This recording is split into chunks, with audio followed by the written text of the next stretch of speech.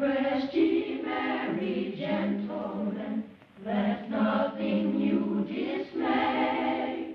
Remember Christ our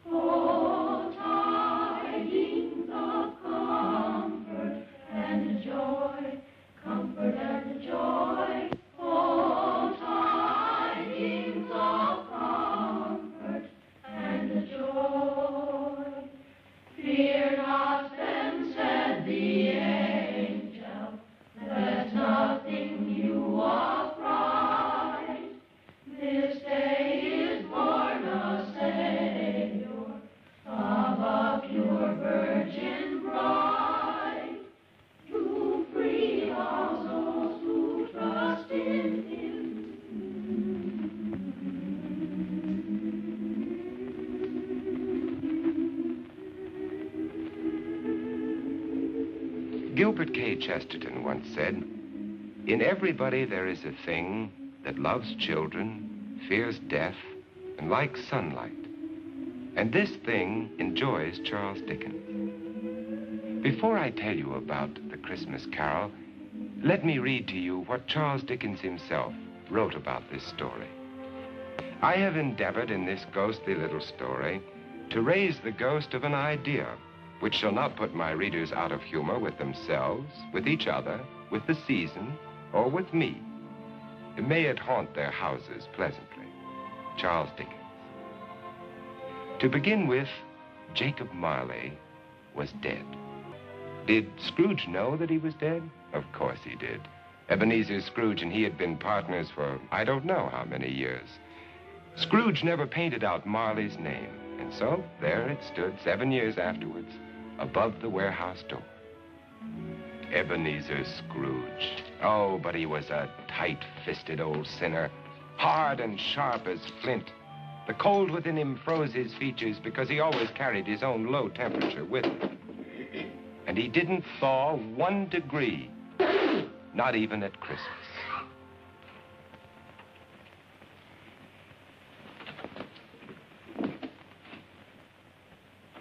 Merry Christmas. Merry Christmas, Uncle. God save you. Christmas. Humbug. Christmas? A humbug? Uncle, you don't mean that, I'm sure. What reason have you to be merry? You're poor enough. What right have you to be dismal? You're rich enough. Humbug. What's Christmas to you but a time for finding yourself a year older but not an hour richer? Every idiot that goes about with Merry Christmas on his lips should be boiled in his own pudding. Uncle, I know you... Do. Now, you keep Christmas in your own way, Fred, and I keep it in mine. Be off now. This is a place of business. Don't be angry. Come dine with us tomorrow. No. Caroline will be happy to see you. Why did you ever get married? Because I fell in love. Love? That's the only thing in the world more ridiculous than a Merry Christmas. Good afternoon, nephew. Uncle, I'm sorry with all my heart to find you like this. Uh, Merry Christmas, Bob. Merry Christmas, sir. Let me hear another sound from you, and you'll keep your Christmas by losing your situation.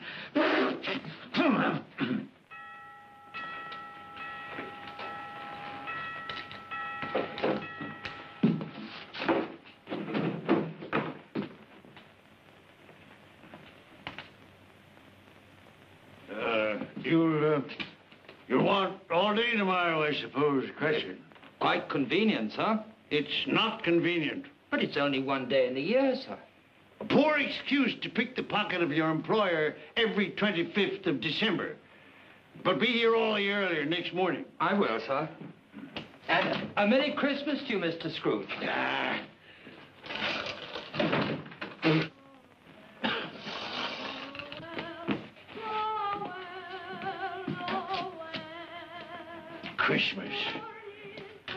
Nonsense. Humbug.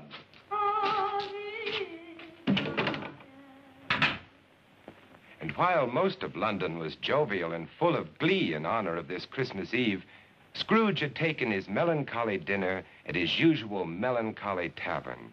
And having read all the newspapers, he went home to bed. Scrooge lived in the chambers which had once belonged to Marley, his ex-partner. And as I have remarked before, Marley is dead these last seven years. Dead as a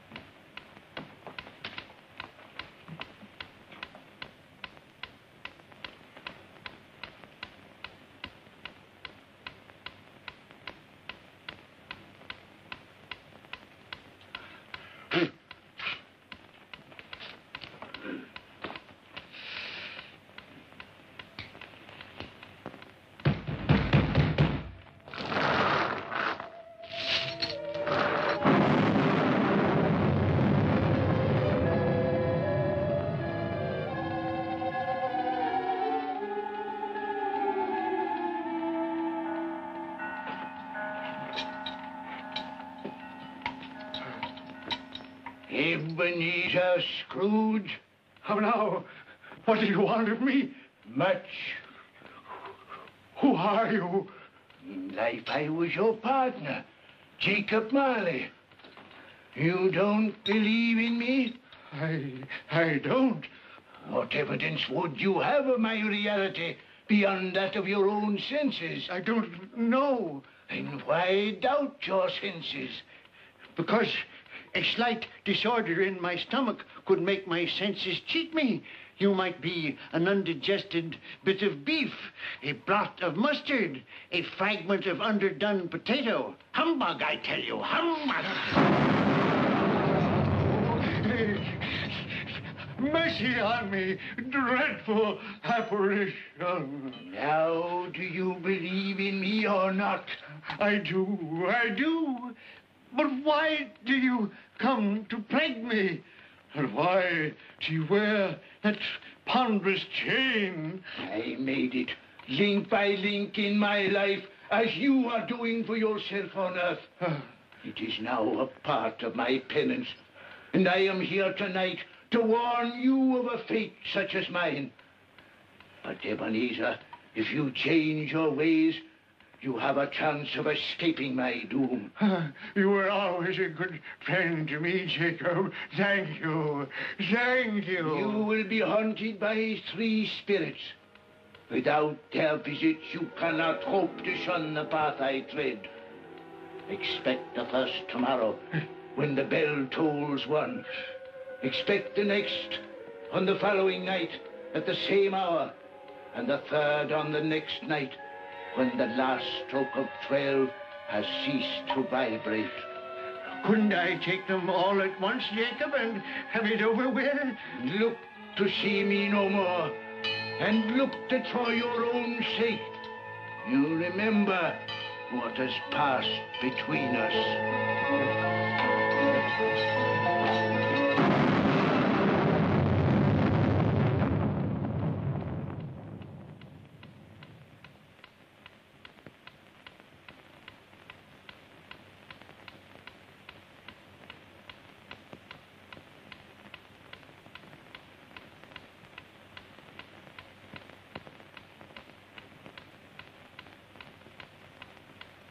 Scrooge tried desperately to say humbug to the strange happening, but the word stuck in his throat, unuttered.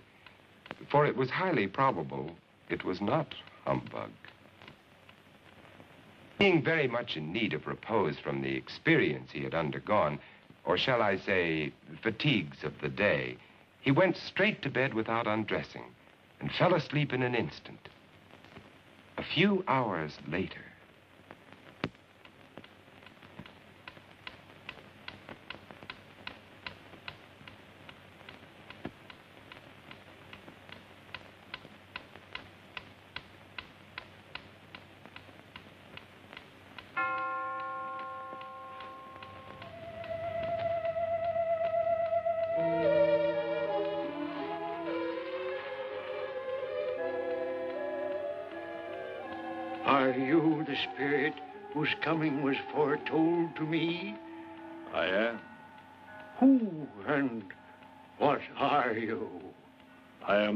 of Christmas past. Long past? No. Your past. What business brings you here? Your welfare. I have things to show you, which are the shadow of the things that have been. Rise.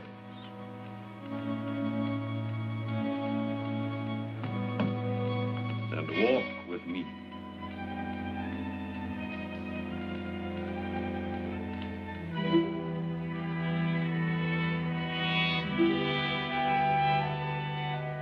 Ghost of Christmas past led Scrooge down the road which he had forgotten for so many years. He showed him a Christmas day in the past, which was a happy one for most children, but not for one lonely schoolboy. Ebenezer Scrooge. Do you know that boy?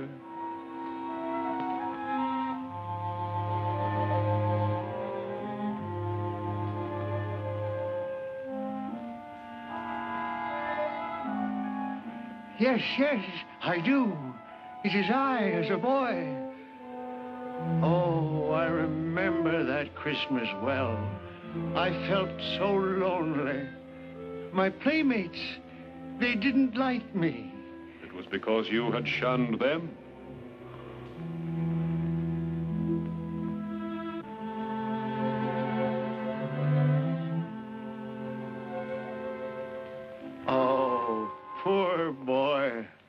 I wish What is the matter? there was a boy singing a Christmas carol on the street last night. I should have liked to have given him something, that's all.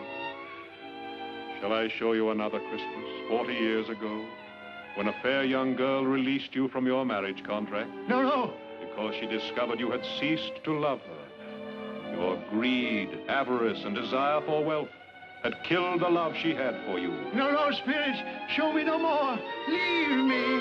Haunt me no longer. Awakening in the middle of a prodigiously tough snore and sitting up in bed to get his thoughts together, Scrooge had no occasion to be told that the bell was again upon the stroke of one.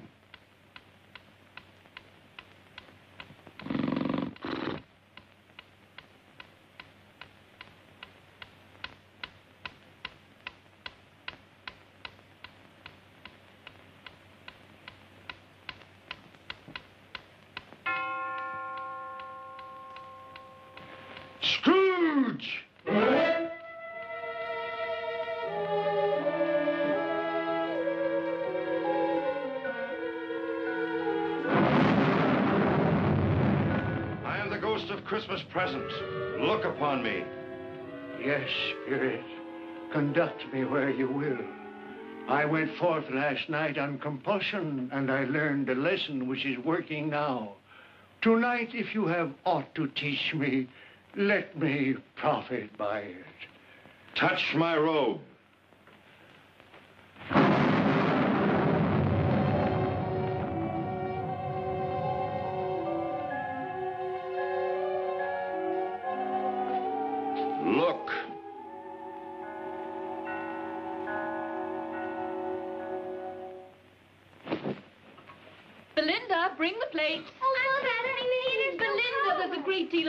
Be done. Help your sister. Missy, you get the... If I came by outside, I could smell the sage and the onions. You knew it was odd, Mother. Oh, I certainly did, boy. Peter, set the chair. Can I put some chestnuts on the fire, Mother? No, your father will do that when he comes. What has gotten your precious father? And your brother, Tiny, too. And Martha wasn't as late last year by half an hour. Oh. This is the house of your clerk, Bob Cratchit. But he has hardly a penny to his name. I, the ghost of Christmas present, have blessed his house. Here comes Bob now with another member of his family, Tiny Tim. And a Merry Christmas, oh, everybody. And there you are, Tiny Tim.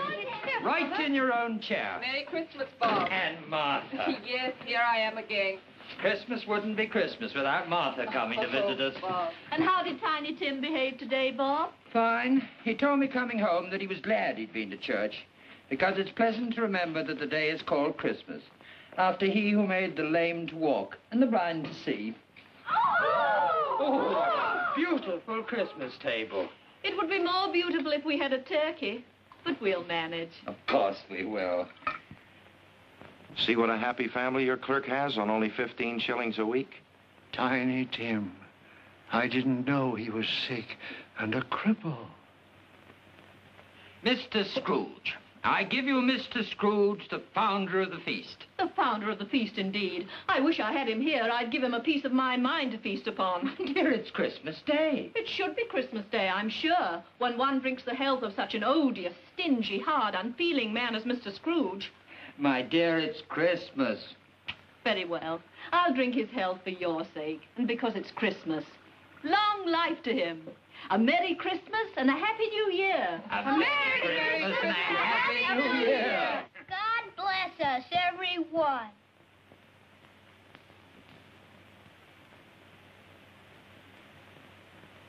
Tell me, Tiny Tim, will he live? I see a vacant seat and a little crutch without an owner. No, no. Say he will be spared.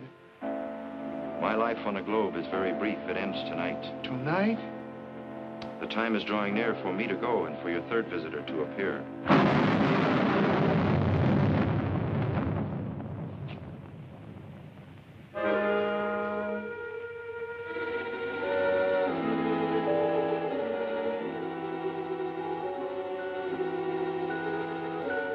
Am in the presence of the ghost of Christmas yet to come. Ghost of the future, I fear you more than any specter I have seen. But lead on. I want to know.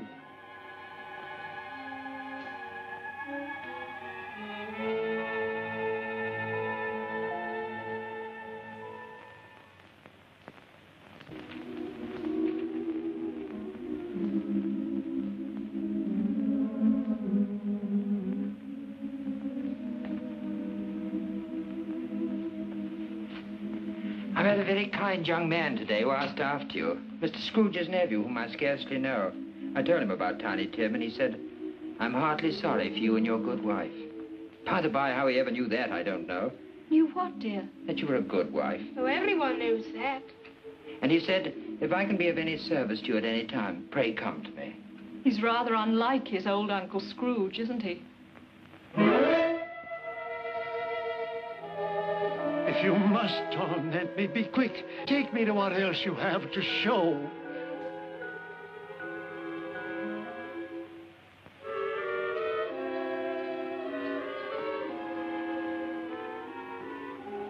I don't know much about it either. I only know he's dead. When did he die? Last night, I believe. What had he done with his money? I haven't heard. But he'll have no use for it where he's going. It's likely to be a cheap funeral. For upon my life, I don't know anyone to go to it. Suppose we make up a party and uh, volunteer. When I come to think of it, I'm not at all sure that I wasn't his most particular friend. For we used to stop and speak whenever we met. I don't mind going to his funeral if lunch is provided. Tell me what man they are speaking of. Who is it that lies dead?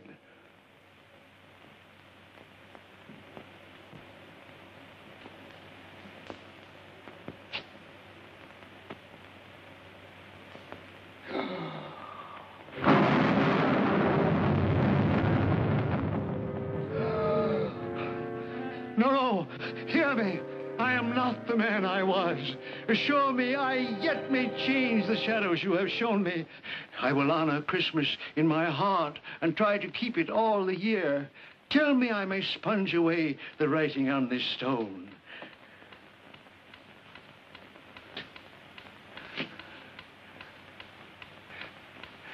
Marley! Marley, Jacob Marley! Heaven and Christmas time be praised for this. I will live in the past, the present, and the future. The spirit of all three shall thrive within me.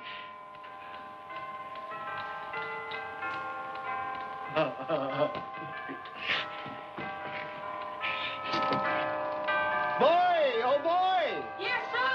What's today? What, sir? What's today, my fine fellow? Today? My Christmas Day, sir. It's still Christmas,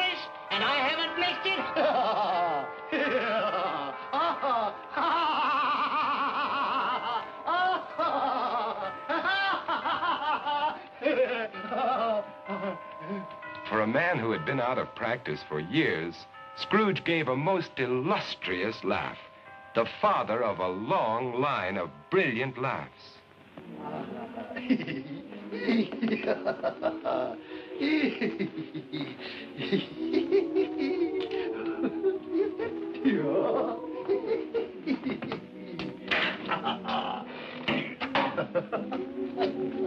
And Scrooge dressed himself all in his best, and at last got out into the streets, wishing everyone he met a Merry Christmas. Mr. Fred, come Come in, come right in. in. Have you room at your table for some friends? Oh, you're very welcome, Mr. Fred, sir. And you too, ma'am. I only hope that our lowly feast is to your liking. Now, don't fret about provisions. We've brought plenty for all. Merry Christmas, Bob! Mr. Scrooge! And Mrs. Cratchit, for you. Mr. Scrooge. My dear, that's for you. Darling, for you. For me? And you, sir. Oh, Mr. Scrooge, I don't know how we can ever thank you. Don't. And I'm going to raise your salary and help your large family in every way possible. And Tiny Tim. I saw a friend of mine at church just a little while ago. A famous surgeon. You and I are going to see him tomorrow. And he's going to be your friend, too. Mr. Scrooge.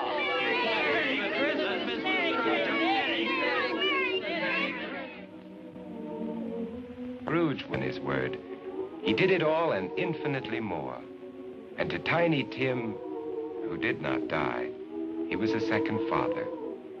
Scrooge had no further dealings with ghosts, but it was always said that he knew how to keep Christmas well, if any man alive possessed the knowledge.